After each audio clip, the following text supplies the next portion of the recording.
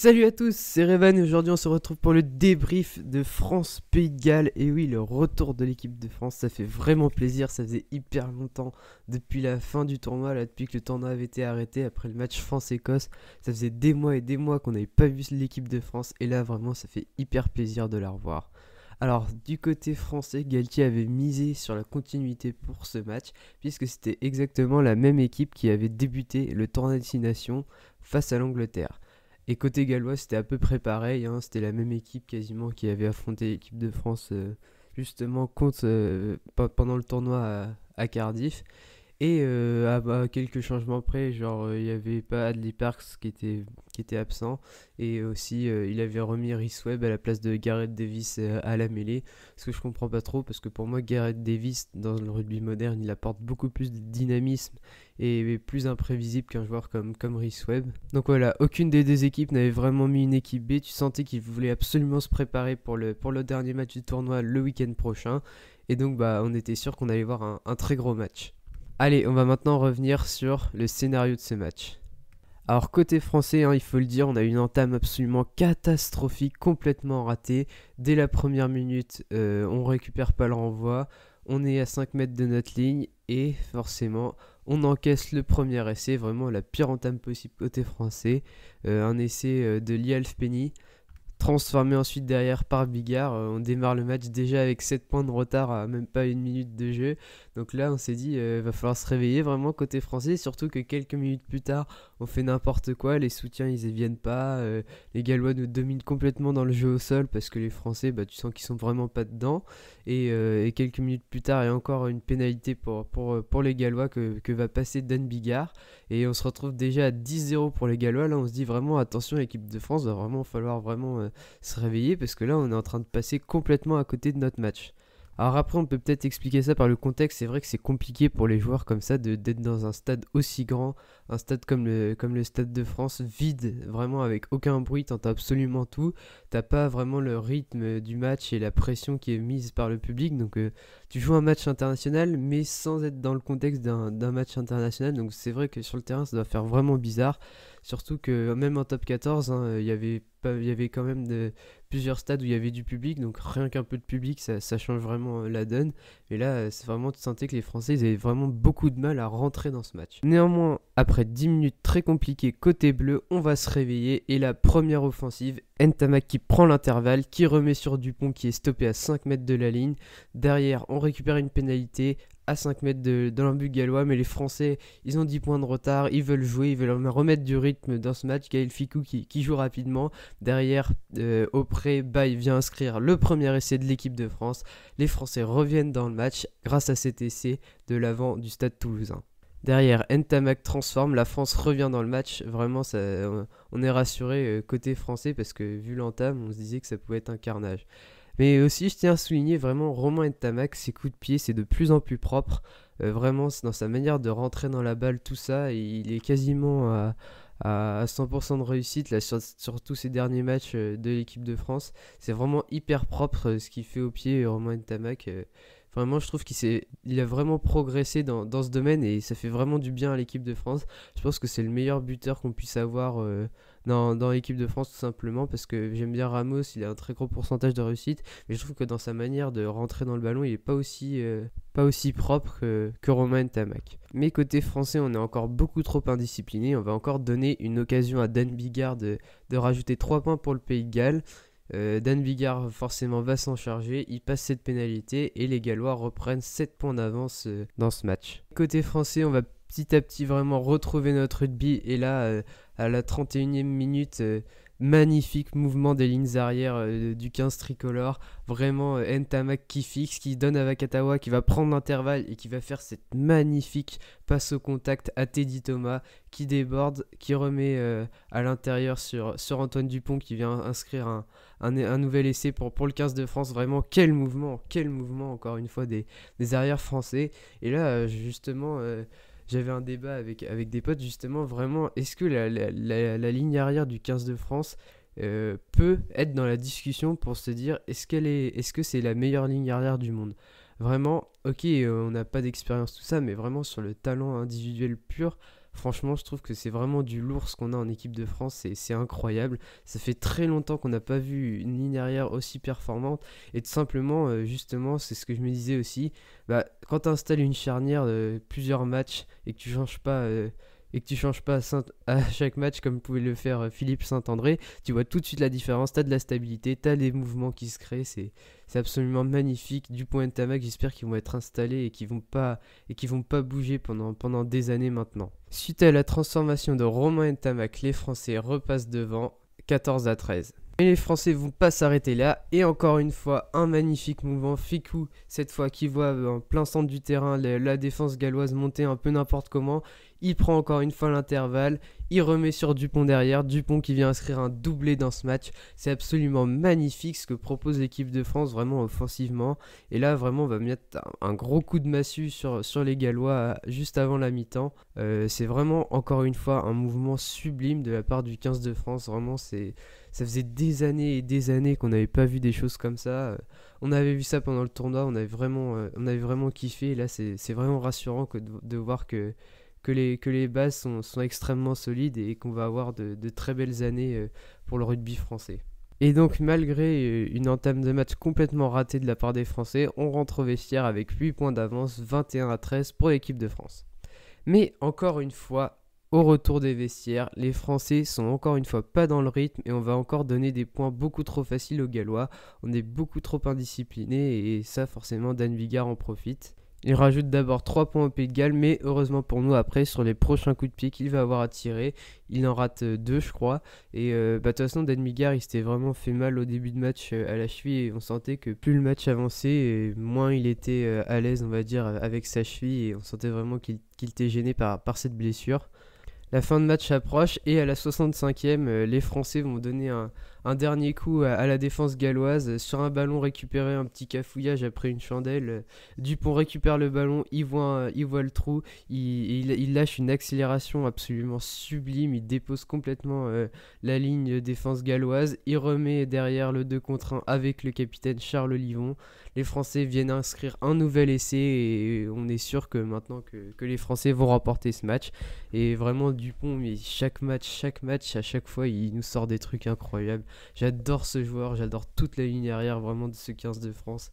C'est un, régal à voir et, vraiment j'espère qu'on va, on va être pareil face à, à l'Irlande la semaine prochaine. Derrière, Romain Tamac transforme sans trembler. Comme d'hab, il est hyper fiable, Romain Tamac, depuis quelques mois euh, au pied. Mais malheureusement, quelques minutes plus tard, on va aller offrir un essai au Gallois un peu gag. Euh, Romain Tamac qui fait sa seule erreur du match, là, qui cafouille un ballon, un ballon après un petit coup de pied je crois, de, Josh Adams et qui, va redonner la position aux Gallois à 5 mètres qui après quelques séquences de pick vont, vont marquer leur, deuxième essai dans ce match.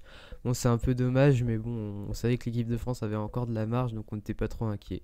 Et en plus, quelques minutes plus tard, pour terminer ce magnifique festival offensif des arrières français, euh, là, on a eu euh, une superbe chistera de, François Cross qui remet sur l'aile à Teddy Thomas qui va lober avec un jeu au pied le, dernier défenseur gallois et inscrire un essai euh, superbe lui aussi. Teddy Thomas, ça fait vraiment plaisir, ça va le remettre en confiance.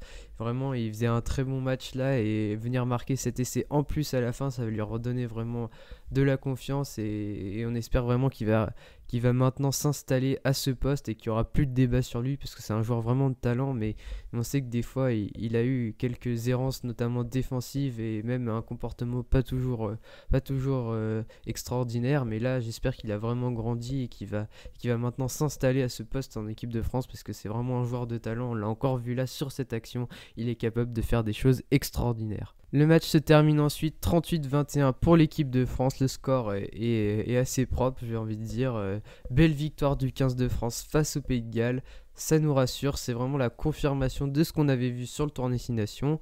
Alors après, on peut peut-être pas dire encore que la France est une des meilleures nations au monde. Hein. Faut, rester, faut rester mesuré quand même. On verra ça aussi face à une équipe qui a un style complètement différent euh, la semaine prochaine face à l'Irlande. Mais franchement, encore une fois, on a vu un très beau match du 15 de France et Vraiment, moi, moi ce 15 de France, c'est vraiment un plaisir de le voir à la télé à, chaque fois. Euh, alors que les dernières années, on se disait, ouais, on va encore voir une bouillie pas possible de rugby euh, horrible et on va encore perdre tous nos matchs. Mais là, euh, là vraiment, on a complètement changé et ça fait vraiment plaisir. Surtout que comme l'a dit Fabien Galtier en conférence après le match, les Français n'avaient eu qu'un entraînement avant ce match. Donc vraiment euh, bravo à eux, on sait voit que les automatismes sont là et qu'ils n'ont pas été perdus euh, depuis, le, depuis le tournoi, alors que les Gallois, ça faisait vraiment deux semaines qu'ils étaient ensemble, qu'ils étaient en camp d'entraînement, et les Français avec un seul entraînement livré une, si belle prestation face aux Gallois, c'est vraiment une, très belle performance, et là, faut vraiment féliciter les, le staff, Fabien Galtier et, tous ses adjoints qui, qui ont vraiment font du super boulot depuis qu'ils sont là. Je vais maintenant passer à mes tops et à mes flops. Donc euh, du côté de mes flops, je vais mettre forcément les entames de match du 15 de France, les entames de la première mi-temps et de la deuxième mi-temps qui ont été catastrophiques. On a été beaucoup trop indisciplinés. Euh, dans les rucks, on a contesté un peu n'importe comment au début. On a, je crois qu'à la 30e minute, on était à 9 pénalités contre le 15 de France. C'est inadmissible vraiment à ce niveau-là. Mais, euh, mais heureusement, après, on s'est bien rattrapé. Mais donc là, il va vraiment falloir corriger ça côté français. De toute façon, Gaël Ficou l'a dit en conférence de presse. On a aussi senti vraiment une belle, lucidité côté français dans, dans, les, dans les conférences d'après-match. Pas d'enflammade. Euh, Vraiment, ils sont vraiment restés mesurés et ça, ça montre qu'ils sont, sont au top et qu'ils sont vraiment bien concentrés sur leurs objectifs. En flop côté gallois, je vais évidemment mettre euh, les deux centres là qui ont, vécu une soirée absolument horrible. Ils se sont fait déborder de partout. Quand ils montaient en défense, ils venaient monter limite un par un, ce qui fait que ça a des espaces incroyables. Vraiment, j'ai pas compris la défense de, de Tompkins et Jonathan Davis. vraiment, je comprends pas du tout comment ils ont pu faire euh, une prestation pareille. Ils ont été vraiment catastrophiques en défense, je trouve. Euh, dans mes flops aussi, j'ai envie de mettre George North, qui est un des piliers de cette équipe vraiment euh, galloise et qu'on n'a pas vu du match tout simplement. Et ça, c'est vraiment à mettre au crédit de, Vincent Rattez. J'avais vraiment des réserves, sur, notamment sur son aspect défensif à Vincent Rattez, mais là aujourd'hui, il a vraiment répondu présent. On sent qu'il est là pour se donner à fond pour cette équipe de France et je sens que s'il progresse encore, et eh ben, il va pouvoir euh, vraiment disputer cette place de titulaire avec, euh, Damien Penaud pour, l'aile du 15 de France. On sait aussi que derrière, il y aura peut-être euh, par exemple des jeunes comme Mathis Lebel qui vont pousser. Donc, on sait que vraiment côté 15 de France, n'a pas trop d'insécurité sur ces postes-là. Et c'est vraiment plaisir de voir que George North, a pas du tout été dangereux. Lui qui, vraiment peut déstabiliser une défense à, à tout moment. Et aussi, j'ai envie de noter côté gallois, une fois que Bigard est sorti, je suis désolé, mais Patchell, je le trouve vraiment pas au niveau du tout de, d'un joueur euh, dans une équipe internationale comme, le Pays de Galles. Je trouve qu'il a vraiment pas le niveau, Patchell. Hein. J'ai pas trop envie d'être méchant avec lui, mais vraiment à chaque fois que je le vois jouer, euh, que ce soit quand Bigard était absent ou alors sur des matchs contre l'Italie ou des comme matchs comme ça où le, coach fait un peu tourner, je trouve que Patchell il a vraiment pas le niveau international et ça c'est assez inquiétant de voir que derrière Dan Bigard, bah, il n'y a, pas grand monde tout simplement pour le remplacer. Sinon, côté français, évidemment, on va passer au, top. Et forcément, bah, la ligne arrière et mention spéciale à, Vakatawa et à, Dupont qui nous ont encore une fois fait des, gestes, des accélérations, des, un match tout simplement euh, monstrueux de, la part de ces deux joueurs. Vraiment, c'est. C'est incroyable, même Gaël Ficou dans son rôle a été parfait. Teddy Thomas, vraiment, il a été très bon. Rates, comme je l'ai dit, même si on ne l'a pas beaucoup vu offensivement, défensivement, il a toujours été présent. Euh, derrière, euh, Boutier, avant de sortir, a, été bon aussi. Donc vraiment, euh, rien à, redire sur, sur, cette ligne arrière du 15 de France. Et dans mes tops aussi, je mettrai évidemment le, staff de Fabien Galtier qui a réussi à, à nous sortir un, très bon match avec un seul entraînement dans la semaine. On sait que ça va être très compliqué là, ces matchs, ces matchs internationaux avec, avec les accords, avec avec les clubs, tout ça, ça va être un peu le bordel. Mais on sent qu'ils ont vraiment la main mise sur ce groupe et que de toute façon euh, ça va filer droit pendant, pendant plusieurs années. Donc vraiment moi aussi je mettrais un, grand bravo au, staff de, Fabien Galtier qui fait un boulot magnifique depuis qu'ils ont repris le 15 de France. Et sinon pour finir euh, cette, euh, cette section des, des, tops, je vais mettre aussi Charles Olivon vraiment qui, est très concentré, qui a été vraiment le, le leader tout simplement de cette équipe de France du côté des avants. Vraiment, c'est un, très bon capitaine. Il vient encore marquer un essai. Il se proposer comme ça pour, pour relayer les arrières derrière. Donc, euh, vraiment, euh, Charles Olivon, encore une très belle prestation de la part du, capitaine du 15 de France. Et j'aurais pu, je, je vous mettrai aussi, euh, pour finir, aller aussi, François Cross, qui, avec, qui, avec vraiment Charles Olivon, incarne vraiment l'âme de cette troisième ligne euh, du 15 de France. Vraiment, les deux, ils ont été extraordinaires. François Cross, on le voit pas beaucoup, mais vraiment tout le travail qu'il fait dans l'ombre, euh, que ce soit au plaquage, même on sait, on a vu aussi qu'il avait beaucoup de talent et qu'il était capable de gestes magnifiques comme ça, Chistera sur, euh, pour Teddy Thomas. Mais vraiment, François Cross, il s'installe dans cette équipe de France. Il, devient quasi indéboulonnable. il était déjà au stade toulousain, il devient maintenant en équipe de France. Donc vraiment, c'est une très belle satisfaction aussi, François Cross. Donc voilà, un, très beau match du 15 de France. Vraiment, ça fait plaisir de revoir encore une fois cette équipe. Euh, c'est magnifique à voir. Euh, les lignes arrière, c'est sensationnel tout simplement. Et j'espère vraiment que dimanche face à l'Irlande, on va pouvoir gagner le match. Alors après, euh, il y en a beaucoup encore. J'entendais France 2 hier qui parlait énormément de gagner le tournoi, tout ça. Moi, j'y crois pas du tout personnellement si on bat l'Irlande, euh, pour l'instant, attendez, on va juste faire un point sur le classement. L'Irlande est, premier avec 14 euh, points. Derrière, les Français et les Anglais sont à égalité à 13 points, mais il y a une différence de, points en faveur des, Anglais. Et euh, les Anglais, vu qu'ils vont jouer face à l'Italie, certes c'est en Italie, mais je vois vraiment les Anglais faire un carton et prendre le bonus. Et dans ce cas-là, il faudra que la France marque plus de points face à l'Irlande avec le bonus aussi que les Anglais face à l'Italie. Donc euh, clairement, je pense que je pense que c'est foutu pour, pour la victoire finale. À cause de ce match vraiment euh, douteux et, vraiment que j'ai pas envie de revoir face à l'Écosse, eh ben on va passer à côté de ce tournoi. C'est vraiment dommage parce qu'il aurait juste fallu un, bonus défensif pour, euh, pour essayer de, le gagner si on avait gagné avec le bonus face aux Irlandais. Donc vraiment c'est assez dommage ce match en Écosse qui nous prive d'une victoire finale, je pense, euh, dans le tournoi. Mais bon, on espère vraiment voir un très beau match face à l'Irlande et, que ça confirme tout simplement la, très belle année 2020 du, du 15 de France. Donc voilà, j'espère que cette vidéo vous aura plu. N'hésitez pas à liker et vous abonner. On se retrouvera la semaine prochaine pour le débrief du match face à l'Irlande. C'était Revan. Salut